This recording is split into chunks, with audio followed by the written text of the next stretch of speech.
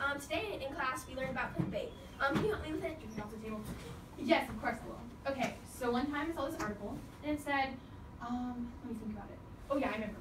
So it said that emotional manipulation was one of the steps that put your phone away uh, that your mind goes through when you see clickbait. For example, they did an experiment that uh, see which got more clicks, and it was Zach tells everybody about his family, and only got one million clicks.